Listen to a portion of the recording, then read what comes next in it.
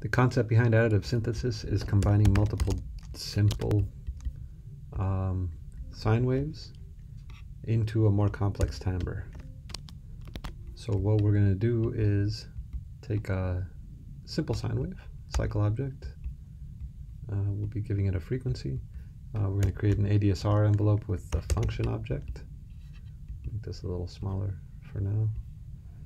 Um, line tilde out of the second outlet of function, left outlet of line into this multiplication. Um, and all we're doing here is creating an ADSR envelope. So when we draw a function in here, uh, it'll go from 0, if you see the y value up here, uh, 0 up to about 1. Make this bigger so we can see it. Then down, and then back to 0. It'll do that over the course of whatever the uh, x value is. We can set that by giving this a set domain message. Let's make that two seconds long for now. Um, locking your patch, clicking on the set domain. Now the x value here is 0. The x value here is 2000. So over the course of two seconds, the line object will ramp from this value up and then down. In order for this to happen, we have to send it a bang. Um, easy DAC to hear what's going on. Let's give this a frequency of A. Uh, an octave higher. Excellent. We're getting a little bit of distortion. I'll just put a master gain control right here. And we have a simple sine wave uh, and a nice clean uh, amplitude envelope. Of course, this can be uh, any shape that you want. I would really strongly encourage you to play around with this, really get to know what's going on here. Uh, we can, of course, give the set domain a variable. Um, and then instead of having a fixed time, we can change that. Uh, you know, the usual stuff. You can always customize it as much as, as much as you like. Now, the beauty of additive synth is we're going to have one master control to control the frequency and one trigger to trigger the notes. But we're going to have multiple components uh, within our note. Uh, a single note can usually be broken down according to the fast Fourier transform. Um, can usually be broken down into multiple overtones uh, or multiple sine waves. Okay, so the really complex tone can be divided and understood as a combination of simple sine waves, and that's it. Really easy. So additive synth takes uh, advantage of this concept, uh, and what we're doing is now combining multiple oscillators. Let's create a few more just to keep things interesting. Um, we're going to have multiple oscillators uh, that will combine to create one tone. So I'm going to attach all of these to the gain, master gain. Um, and the premise on each of these is the exact same. Going to have one frequency control. Let's actually give them all the same domain uh, so that all of our overtones um, have the same duration. Let's give that a thousand. And we're going to trigger them all with the same trigger. Now, you can see how this can quickly become uh, an extremely complicated patch. So Right now we haven't done anything too complex. I'm just going to arrange the patch cords so it's a little bit cleaner. Save the patch. Uh, additive synth. Um, now, the key though, we have one frequency going into here. We don't want to just have the same frequency going into every cycle object. You're going to have whatever, eight or seven notes of uh, just unison. What we want is some way that this master fundamental frequency is going to control all of these overtones. Uh, if you've studied acoustics, you know that the first partial or the fundamental um, is usually the fundamental frequency. Partial 2 in a harmonic overtone series is 2 times the fundamental frequency. Partial 3 is 3 times the fundamental, etc., etc. Okay, this is a harmonic overtone series. Uh, in other words, most orchestral instruments uh, that have a clear audible pitch have a harmonic overtone series. Uh, violin, clarinet, everything really has a fundamental, which is the pitch that we hear, and then the timbre of that instrument is determined by the relative amplitudes, the changes of amplitude um, of all of the partials, of all the overtones. So let's try to mimic this simple uh, overtone series. What we're going to do is take the fundamental frequency, multiply it by 2 times 2. Um, I'm adding a float here so that later if we want to make an inharmonic overtone series, uh, we can add a float into the right outlet and multiply it by something else. Okay, but for now we're just going to multiply this by 2 um, and attach it to this oscillator. You guessed it, we're going to multiply the next one by 3, by 4, by 5, by 6, and by 7. 3, 4, 5, 6. Oh, we missed our 3.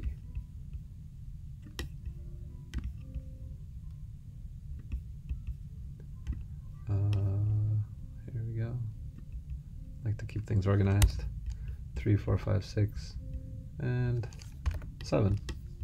We gotta connect all these. You can see how additive synth can become quickly really uh, cumbersome. Okay, but imagine back in the day with hardware, each of these was a different piece of hardware. Every oscillator was like a little module on your wall. Um, now we can have as many of these as we want in Max, and you know you can have an additive synth with like 300 oscillators if you want uh, and have really really dynamic complex sounds um, so an important thing to take into consideration here is that this number is going into the left inlet of these multiplication objects and they're being multiplied by the argument which is currently 2 in order to trigger these and actually have it output a number you need to change or send this information uh, into the left inlet. Um, in other words, this is a hot inlet and this is a cold inlet.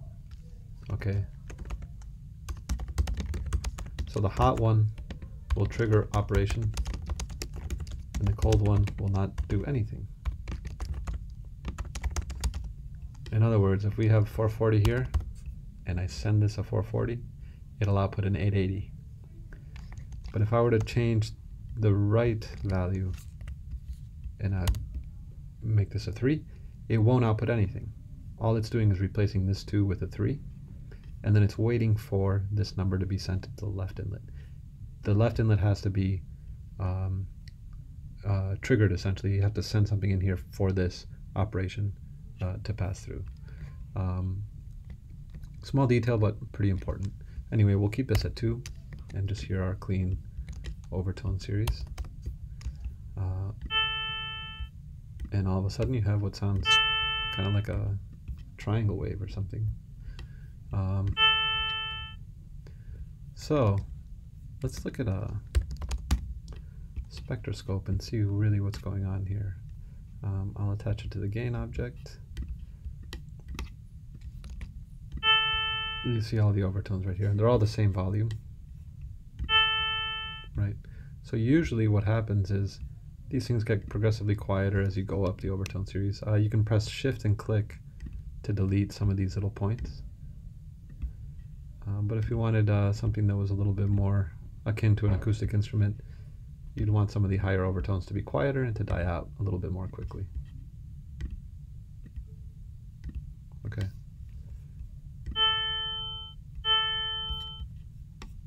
Oh yeah, we got a really loud one over here.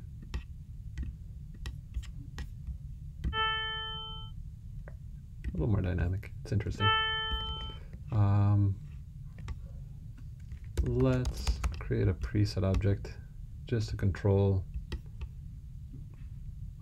uh, our domain, duration, and all of the envelopes. That way we don't have to keep clicking through these if we find some sounds that we like. Shift and click to save. Uh,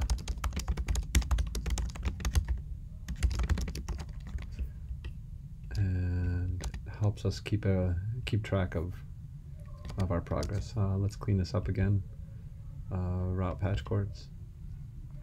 It always takes a minute. Um, great. So, nice, simple. That's too low, obviously. I like that you can hear this high one decaying a little bit slower than the rest. Let's give these uh, a little sort of uh, resonance at the end. Ah, that's nice. That's really nice. So this almost sounds like another little attack because it goes up quickly. Uh, we'll save that as a second preset.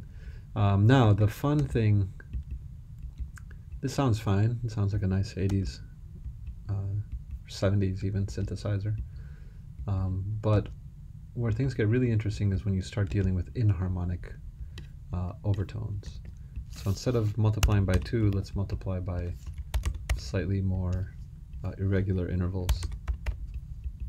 Uh, 4.5, 5.2, doesn't really matter, I'm just making these up right now. Um, now we're going to get a much richer, nothing yet because we have to trigger the operation. So you get a much richer sound. Let's hear that. That's slightly longer. Uh, you can also have, of course, different just sort of uh, evolutions of the overtones over a longer period of time. We'll save this one.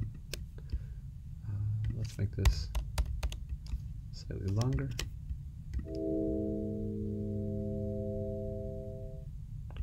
100 hertz. Let's try 200.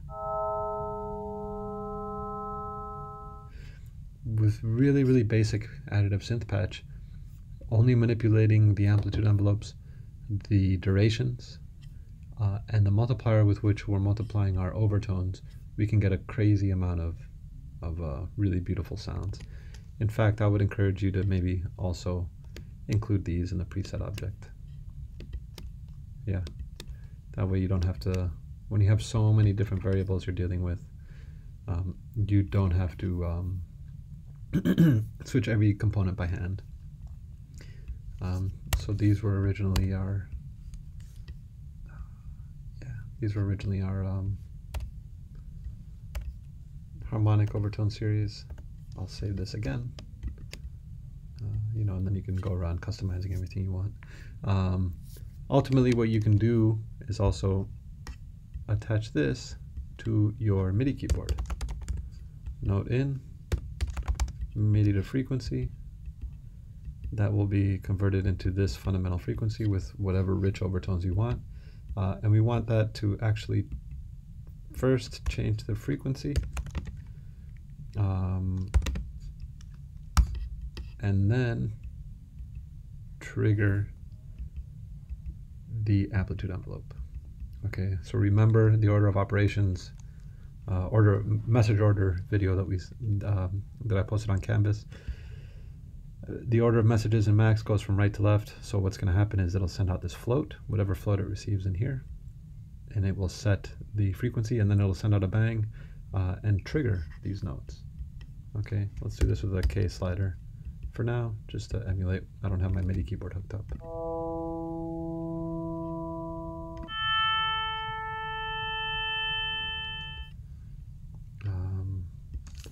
2.1. let's make something a little more interesting. 3.4. Uh,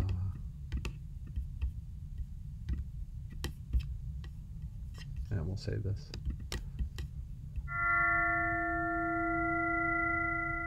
It's really cool. You know, that sounds uh, just like Stockhausen, uh, Gesang der Jünglinge or something like that. anyway, um, play around with this. Obviously, you can incorporate all sorts of uh, little customizations.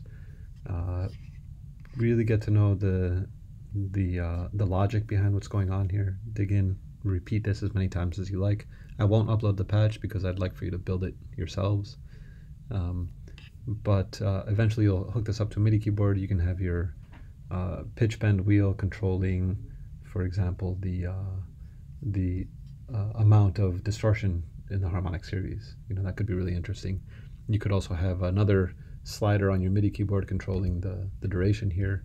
Later we'll look at ways to um, actually sustain the note by holding it down on your MIDI keyboard, uh, having a slightly more dynamic control over what happens. Um, anyway, enjoy.